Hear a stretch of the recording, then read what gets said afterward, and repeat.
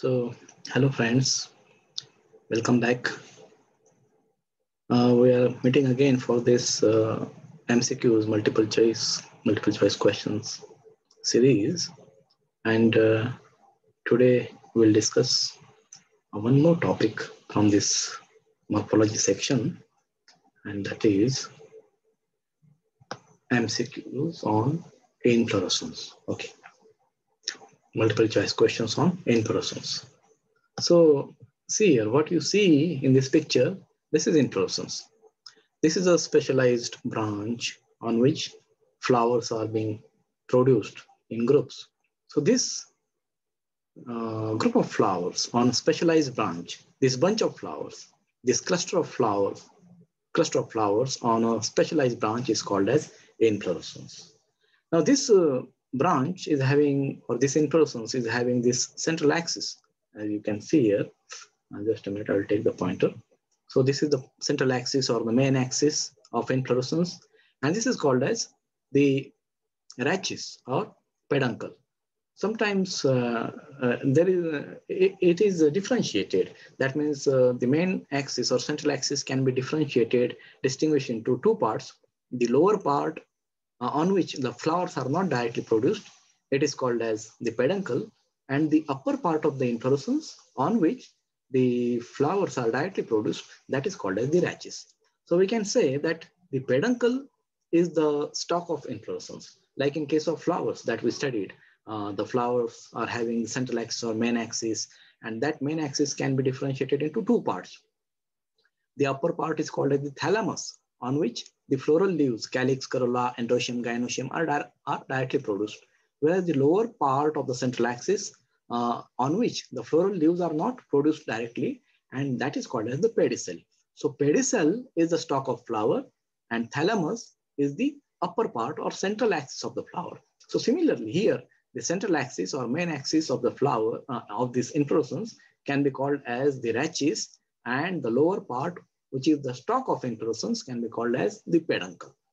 Uh, one more difference is there. Sometimes this inflorescence is uh, branched, branched structure. So peduncle is that central axis or main axis on which flowers are not produced, uh, but branches are produced. And the branches are the one on which flowers are directly produced. So these branches can be called as rachis. Branches are rachis on which flowers are directly produced. So you simply remembering, uh, you keep in mind that the part of main axis or central axis on which flowers are produced in groups, that is called as the rachis, and the part of central axis or main axis of inflorescence on which flowers are not produced, that part is called as the peduncle. So this is inflorescence, a specialized branch having a group of flower, cluster of flowers. This is the inflorescence of your holy basil plant Tulsi, Ocimum sanctum. And this is very uh, special type of inflorescence. This is called as verticillaster uh, inflorescence that we'll uh, discuss later. So we'll start with our question. So first question, the main axis or the central axis of an inflorescence bearing a group of flowers is called as what? So pedicel, petiole, rachis. And just now we discussed pedicel is the stalk of flower, petiole is the stalk of leaf, rachis or peduncle is the main axis or central axis of inflorescence. And uh, the upper part on which flowers are directly present, that is called as rachis, whereas the lower part of the central axis on which flowers are not produced directly, which acts as a stalk of inflorescence, and that is called as the peduncle. So here the answer is option C. The stalk of inflorescence is called as, so direct question is given there, pedicel, petiole, peduncle. Just now we discussed the stalk of an inflorescence is called as the peduncle. So C is the answer. Which of the following is true about the racemose inflorescence? We studied. Uh, there are two types of inflorescence, uh, racemose and cymose. Racemose is the one in which uh, there is indefinite growth of the main axis or the central axis, that is rachis. The rachis here goes, it goes on increasing in length continuously. That is the apex of rachis is never terminated by flower. The flower is never produced at the tip region and therefore tip region is free to grow. And during its journey, it goes on producing flowers laterally. So it, it has started journey from this point and it is going on and producing flowers. So whatever flowers that are produced at the basal region, these are older flowers. Whereas the flowers which are produced at the upper region uh, are younger flowers. And this order, this succession is called as acropetal succession. That is, younger flowers are produced on this main axis or central axis at the upper region. Younger flowers are present at the apex, older at the base. So this is called as acropetal succession. So this is like this, the main axis of central axis going on increasing. And this is the apex or uh, terminal region where younger flowers are present. Whereas this is the base, basal region where older flowers are present. So this is the case when the main axis or central axis is long, elongated like this.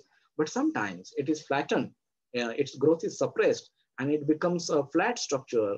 It becomes a cup-like structure and this is called as the receptacle. So when it forms a receptacle, a cup-like structure, so in that case, the apex, which was present here initially, it gets like this and it the apex comes to lie at the center, center. And therefore, the younger flowers are now at the center. So this succession is now called as centripetal succession or centripetal order. So this is again a characteristic of racemose. So when the racemose is having central axis long elongated, the order of succession of opening of flowers is acropetal. And when it is uh, having uh, the rachis has become receptacle, uh, cup-shaped structure, then the order of opening of flower is centripetal. So all of these are applicable to the racemose inflorescence. So all of these, this is the right answer. Option D is the correct for racemose. Okay, which of the following is true about the cymose inflorescence? Exactly opposite of racemose is true for cymose. That means it is definite inflorescence because the main axis of central axis grows and it forms a flower at the very terminal region, apex. So that when flower is formed at the apex, there is no further growth of that main axis or central axis or the rachis. So whatever flowers are now, it has to produce, it has to produce the flowers from its uh, lower side. Lateral branches are produced from the lower side of this terminal flower. So that succession is called as basipetal succession because the younger flower is pro uh, produced at the base and older flower is at the apex, younger at the base. So this is basipetal succession. And when the central axis here becomes a receptacle, in that case, the order of succession, the order of succession of opening of flowers is not centripetal, it is centrifugal. That is, younger flowers are present at the periphery and oldest, like this, uh, instead of growing like this, it has grown, it has uh, grown like this. And the oldest flower is at the center. Younger flowers are present at the periphery. So these are all applicable. All of these, all of these is the right answer. When the central axis of inflorescence is branched and the flowers are produced on the branches, just now I told, when the uh, when the inflorescence simply when the inflorescence is branched, then it is called as what? Okay, whether it is racemose type of inflorescence or cymose type of inflorescence, uh, if the inflorescence is unbranched, it is called as simple inflorescence. If the inflorescence is branched, it is called as compound inflorescence. For example, I take the example of racemose, raceme. Raceme. Raceme is a type of racemose inflorescence. If the inflorescence is unbranched raceme, then it is called as simple raceme, raceme. But if the raceme is branched, that means uh, the main axis is called as peduncle and it produces branches which are called as rachis and on these branches flowers are produced. Then it is called as compound raceme compound raceme so when the inflorescence is branched it is called as compound compound raceme for example compound raceme or raceme of raceme it is called as. So d is the option here. Just remember when inflorescence is unbranched it is called simple. When an inflorescence is branched it is called as compound Option D is the right answer. When the main axis or central axis, the term rachis is used here, when the rachis is elongated, long elongated structure, flowers are acropetal, that is younger flowers are at the apex, pedicellate, they are having stalks, flowers are having stalk, then the inflorescence is called as what? So this is very basic type of racemose and that fundamental racemose is called as raceme, where rachis is long elongated, flowers are acropetal, and flowers are pedicellate with stalks. The inflorescence is called as raceme. And when this raceme is branched, then it is called as compound raceme. Okay, option A is the right answer. When the rachis is elongated, flowers are acropetal just like raceme and sessile. Here is the difference. In case of raceme, flowers are pedicellate. Here flowers are sessile. Then the inflorescence is called as, okay. Here the inflorescence is then called as spike. B is the answer. When the rachis is elongated, thick and fleshy, one more difference, thick and fleshy. Flowers are again acropetal. That means this is racemose type. Flowers are sessile, just like uh, your spike. Unisexual, unisexual flowers. In case of spike inflorescence, flowers are bisexual. Here, flowers are unisexual, and they are covered uh, by means of uh, a protective structure, and that is called a spathe, which is formed by the bracts. The whole inflorescence is covered by the spathe, and such an inflorescence is then called as what? It is called as the spadix. All these characters uh, represent spadix inflorescence. So C is the right answer. When again, same, rachis is elongated, but here the rachis is thin, weak, forming wire-like structure, wiry, pendant, pendant, zooming structure, and flowers are acropetal. So this is racemose. Flowers are sessile, just like your spike and uh, spadix, but the whole inflorescence is unisexual. In case of uh, your spadix, flowers are unisexual. Male flowers and female flowers are present in the inflorescence. But here the whole inflorescence, the entire inflorescence is unisexual, means the inflorescence may be either male inflorescence or female, containing only male flowers or female flowers. So that is the condition uh, in what type of inflorescence. So that is the question, raceme, spike, spadix, and catkin. So this inflorescence is called as catkin. So answer is D, catkin type of inflorescence. Now here, the rachis is not elongated. It is shortened. It is shortened. The growth is short. The growth has been shortened. It has uh, minimized, uh, minimized growth. When the rachis is no, no more long elongated as in previous cases, flowers are acropetal, again pedicellate, just like raceme, with all the flowers, right, placed at the same level. See here, all the flowers means younger flowers, younger flowers as, as well as older flowers. Uh, okay, so we know that uh, younger flowers are present at the apical region, at the apex, and older flowers are present at the base in case of racemose inflorescence. And what is the condition here? Flowers are placed at the same level. So younger flowers are present here, older flowers are present here, and this is the level where all flowers are present. Okay, so here younger flowers will come here with the, with the help of their pedicels, huh? and they will produce flowers here. So younger flower starts originating from here with the help of pedicel, they will reach this direction, this level. Whereas older flowers, which are at the base, they will produce uh, they, they, they will produce flowers with the help of their long pedicels to come at this region, at this level. So this is obvious that older flowers, which are present at the base, they will have longer and longer stalks or pedicels, whereas younger flowers, which are present at the upper region, they will have shorter and shorter stalks so that all the flowers older flowers as well as younger flowers, they will reach the same level. They are placed at the same level. So this is the situation. And when this is the situation in inflorescence, then it is called as corymb type of inflorescence. Corymb, C is the answer. Where flowers, younger flowers and older flowers are having pedicels of different lengths so that they are all placed at the same level, corymb. Next one. When the rachis is suppressed, rachis is shortened further and suppressed almost to nil. So rachis is very, very small and it, and it looks as if all the flowers, younger flowers and older flowers are being produced from the same point, from a single point. Such a suppressed rachis is there and flowers are centripetal. So here the acropetal succession has changed into centripetal because there is no more length to the rachis and therefore uh, older flower which used to be present at the lower level and younger flowers at the upper level. Now younger flowers are at the central region and older flowers are at the at the peripheral region. So that is called a centripetal succession. Flowers are again here pedicellate. So having they are having stalks and the pedicels of equal lengths so that flowers are placed at the same level. Now see here in the previous case, what we what we saw the flowers uh, were pedicellate and the pedicels of older flowers and younger flowers were of different length. Younger flowers were having shorter pedicels, older flowers will, uh, were having longer pedicels, but here all the flowers, younger flowers as well as older flowers, they are of equal length. Huh? And therefore they are placed at the same level.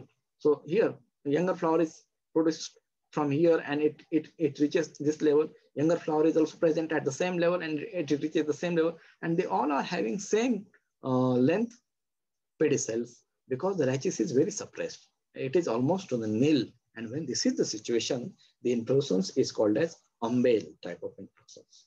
So C is the answer. So in case of umbel, pedicels are of equal length. Both uh, the younger as well as older type of flowers are having same length pedicel. Whereas in corymb, the length of pedicels are different for younger and older flowers. So umbel is the right answer. Now see here, when the rachis is flattened, now here the rachis is no more long elongated or it is suppressed. It is it is flat structure. It forms a it forms a cup-like structure that is called as receptacle, and uh, it consists of the receptacle consists of receptacle consists of very very small flowers, and these are called as florets, and which are centripetal. Younger flowers are present at the center, older at the periphery, uh, and they they are surrounded by involucre, which is made up of bracts at the base of inflorescence. When this is the condition, the inflorescence is called as what? So that is the question. So here in this case, the inflorescence is known as capitulum or head inflorescence or anthodium inflorescence, which is a characteristic feature, which is a characteristic feature of uh, your family composite, composite of higher plants, which is also called as Asteraceae, aster family, sunflower family. Uh, sunflower, Tridax are the example, chrysanthemum are the examples. So here the answer is option D. Okay, matching type questions. Column one, types of inflorescence is given and type two, their examples are given. So see here, radish, mustard, Caesalpinia, this is called a Shankasur in Marathi. Uh, it, uh, they are having raceme type of inflorescence. Whereas uh, Gulmohar, uh, it looks like Shankasur, but it is uh, some somewhat larger plant, Gulmohar. It is having compound raceme. That means raceme is branched here. Uh, then Achyranthes, called Agada in Marathi, is having spike inflorescence. Polyanthus also, tuberose, spike, whereas Amaranthus is having compound spike inflorescence. So after matching, you will get the right answer. That is option A. Again, matching type questions, spadix, compound spadix, catkin, corymb, different types of inflorescence are given and their examples you have to match. Okay, in the exam, they will, they can also uh, give you a single example and ask the name of inflorescence. So that will be also easier. So here, cassia species, there are several species of cassia cassia, which show corymb type of inflorescence, whereas mulberry shows catkin, that pendant, pendant type of wiry rachis, whereas coconut is example of compound spadix. Coconut is compound spadix. And amorphophallus called suran in Marathi, colocasia, that is aram, aru uh, in Marathi, that uh, is the example of spadix type of inflorescence. So you can easily match and you'll get the answer. Right answer is option D. Okay, next one again umbel, compound umbel, capitulum uh, inflorescence are given and their examples are given and you have simply to match. So see here, coriander and fennel, these are the examples of compound umbel. Coriander is not showing simple umbel, hmm, but it, it shows compound, branched, branched umbel. Sunflower and Tridax show capitulum, head type of inflorescence. Centella asiatica, Brahmi, a medicinal plant, is having a simple umbel type of inflorescence. So you can match option C is the right answer. The inflorescence in coriander is called as, so this is simple type of question. Corymb, compound corymb, umbel, compound umbel. So here the right answer is compound umbel. Coriander is having compound umbel type of inflorescence. When the main axis or central axis, rachis, is unbranched and it terminates in a flower. So main axis, when it terminates in a flower, the inflorescence is called as cymose. And here the main axis is unbranched and it is uh, not producing any lateral branches. So this inflorescence is called as what? So this type of inflorescence is called as solitary cyme. Solitary cyme means only one flower is present and uh, that flower is produced either at the terminal region or, uh, or in the axillary position. But only one flower, no other flower is produced. And usually, uh, if we see the definition of inflorescence, it is a group of flower uh, cluster of flowers or bunch of flowers on a specialized branch. But here only one flower. One flower um, uh, is, um, is usually uh, cannot be considered under inflorescence, but it is considered as inflorescence. It is called as solitary cyme because if you see the example of solitary cyme, uh, that is hibiscus, Rosa sinensis, or your, um, uh, what you say, uh, common name, China rose. China rose. In case of China rose, uh, there is a distinct articulation or ring-like structure between the pedicel and peduncle. Peduncle, you know, peduncle is the stalk of inflorescence on which flowers are present. So here a single flower is present on this peduncle. So this is peduncle, stalk of inflorescence. this is pedicel, stalk of flower, and on this pedicel, a single flower is produced. So in between, uh, in or in uh, in between this pedicel and peduncle, there is a ring-like structure which is uh, called as articulated structure. And so uh, this proves that this is not a single flower, uh, but this is inflorescence. Huh? Are you getting? Solitary cyme, hibiscus, uh, Rosa sinensis, China rose. So A, A is the answer here. Okay, the inflorescence in China rose. Also, that is a direct question. A is the answer. Yes, now we discussed solitary cyme. Uh, there is a distinct articulation between the peduncle, that is the stalk of inflorescence, and the pedicel, that is the stalk of flower in inflorescence of what? So you know that it is uh, found in case of China rose, solitary cyme inflorescence, basic type of cymose, fundamental type of cymose inflorescence. When the main axis terminates in a flower, so it is cymose type of inflorescence, and one lateral branch, a single lateral branch is produced from its base at a time. Uh, at a time, uh, one at a time, a single lateral branch is produced. That also ends in a flower. So it ends in a flower. A lateral branch is produced like this. It will produce flower, and from its base again, another lateral branch will produce. So this happens in succession. At a time, one lateral branch is produced. So that type of inflorescence is called as what? So this is a type of cymose inflorescence. And as the word one is there, so this signifies monochasial cyme. Mono means one, Casial, you can consider casial as a branch, one branch, monochasial cyme. This is the right answer. B. And when the main axis terminates in a flower and a single lateral branch is produced in succession on different sides, uh, that is, uh, so this is the main axis uh, that terminates in a flower. It, it gives rise to lateral branch that also terminates in flower from its base. So you see this lateral branch is being produced on the right side. So another branch that is produced from the base of this one will be produced on left side. So right, left, right, left. So that is alternate, alternate uh, succession. So such a type of succession is called as what? So of course, this is monochasial type of uh, inflorescence. And this alternate, not on the same side, on different sides. The branches are produced on different sides, right and left sides. So this is called as uh, monochasial scorpioid cyme because it, uh, it gives the appearance of scorpion there is a curling of uh, flowers at the end of this inflorescence and uncurling is uh, visible at the region of opening of flowers. So the, the entire structure looks like the scorpion and therefore it is called as scorpioid. Scorpioid oid means like, scorpion like, scorpioid inflorescence. Monochasial scorpioid cyme. A is the right answer. When the main axis terminates in a flower, and each lateral branch is produced not on the different side, but on the same side. So uh, the lateral branch is produced either on the right side, right, right, right side, or left, left, left side. So it forms a sort of spring-like structure, and that is called as helix. And therefore, such an inflorescence is called as helicoid cyme because it forms helix, and a single lateral branch is produced. So it is monochasial helicoid cyme. B is the answer. When the main axis terminates in a flower, and two, see here, two lateral branches, not one, but two lateral branches are produced from its base on the two sides of terminal flower. Hmm? Then the inflorescence is called as, of course, you know that. Two lateral branches, two means die di, dichasial cyme. So C is the answer here. And when the main axis terminates in a flower and more than two lateral branches are produced from its base, then it is called as poly. Poly means many, polychasial cyme.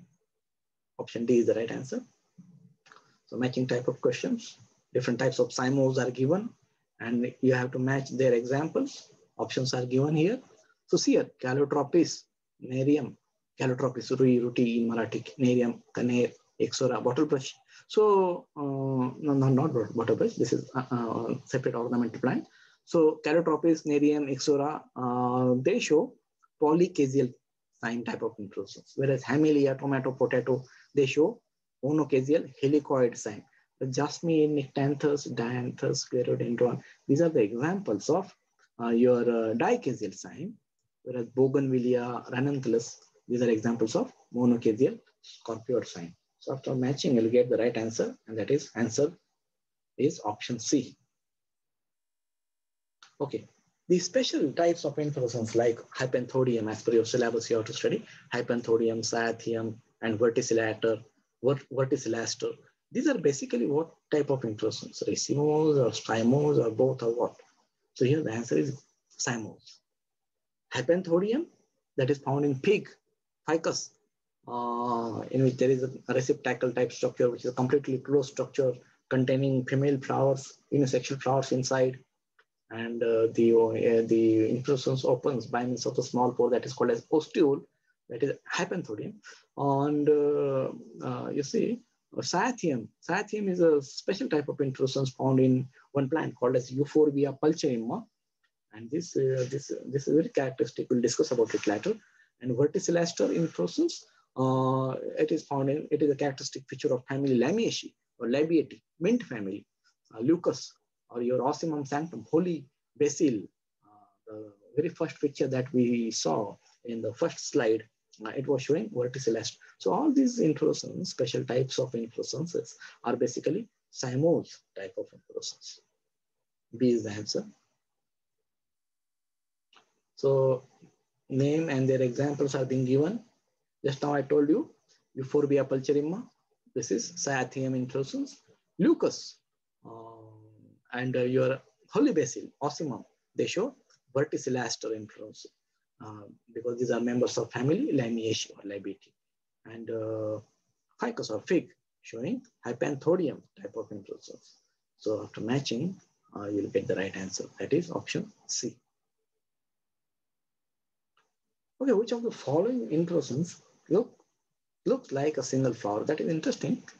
Hypanthodium, Cyathium, verticillaster, capitulum. Now, if you see Cyathium inflorescence, this one shown by Euphorbia pulcherrima, uh, it looks like a single flower because Cyathium inflorescence consists of uh, the receptacle and on this receptacle, there are uh, unisexual flowers called male and female flowers. There is only one female flower at the center and th this female flower is being surrounded by four to five male flowers. But the male and female flowers are very, very small. They are uh, called as florets and they are very reduced uh, there is no structure like calyx, corolla. Uh, you getting? So these are called as uh, naked flowers. Um, a male flower uh, just looks like stamens, whereas female flower just look like looks like uh, carpel with stigma, style, and uh, your ovary. So and and one more thing that the these are being surrounded by the involucre or whorl of bracts involucre. It forms a green involucre structure which, which gives the appearance like uh, petals. So this entire inflorescence, which consists of male and female flowers and these bracts uh, on the receptacle, it looks like a single flower.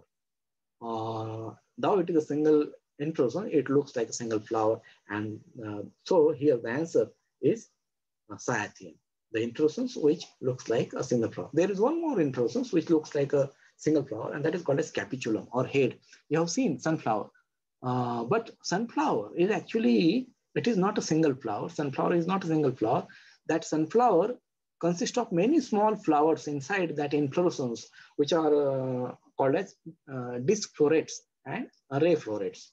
Uh, okay, so that is a single inflorescence, which looks like, like a single flower. So similar thing happens here. Uh, here, cyathium type of inflorescence looks like a single flower. So here the answer is B. Which of the following inflorescence produces flowers first in dichasial cyme and then in scorpioid cyme? That is the reason all these special type of inflorescences are basically cymose or they are uh, containing cyme inflorescence. So here question is, which is the one which consists of first dichasial and then scorpioid cyme? Okay, I'll give you the hint. You have studied it. This inflorescence is called as verticillaster inflorescence, which is a characteristic feature of family Lamiaceae or Labiatae. Now what happens in this family, the leaves are opposite. That means at each node, two leaves, opposite leaves are produced. Uh, and, and at each node, uh, where two leaves are present, in the axil of each leaf, in the axil of each leaf, there is presence of one inflorescence. And that inflorescence is called as dichasial cyme. That means it produces flowers at the tip and from uh, that flower, uh, two lateral branches are produced which also produce flowers. So this is called a dichasial cyme. So in the axil of uh, each leaf, there, there are two dichasial cyme. Now this dichasial cyme later instead of producing flower in that manner, they are modified as a scorpioid cyme. They produce flowers only in one direction. Sorry, uh, only, uh, only, on, on, only lateral branches produced. No two branches are produced, and therefore it becomes monochasial scorpioid cyme. Scorpioid because the branches are produced in right and left direction. So uh, the single inflorescence on this side goes on producing flowers. The other inflorescence on this side goes on producing flowers, and the flowers are produced in a cluster all these sessile flowers then covers the whole node in this manner and it, it forms a sort of whirl, whirl around the node. But as they are not produced from a single inflorescence, there are actually two inflorescences. So this whirl is called as false, false whirl. And there is one technical term for false whirl, and that is called as verticil. Verticil means small whirl, and therefore this inflorescence is called as verticillaster verticillaster, a characteristic, it is a characteristic feature of family Lamiaceae or Labiaceae, mint family. Uh, your holy basil, leucas, like that. So here the answer is option C. That is the correct answer. Okay, next question. The inflorescence of which of the following families is called as capitulum or head inflorescence? So here, uh, you know that capitulum or head is, um, it has been shown by composite member, sunflower family. Plants like uh, sunflower, Tridax, or your chrysanthemum. In case of chrysanthemum, chrysanthemum, uh, uh, disc florets and ray florets are not present. All florets are similar. So uh, that is the condition. So B is the right answer here. Option B. Okay. So these are again some of the references. College Botany by Ganguly Das. That's the basic and very interesting very good book for morphology, some of the uh, websites. So I really thank you very much for kindly listening to you, uh, kindly listening to this uh, session. Okay. Uh, if you have any questions, I will stop sharing. If you have any questions, any queries, you can write to me, email, or you can write in the chat box. Uh, and again, all the best for your uh, coming paper. Study hard and fetch very good marks. And I hope I'm uh, confident that you will get uh, very good marks in your exam. Thank you. Thank you very much.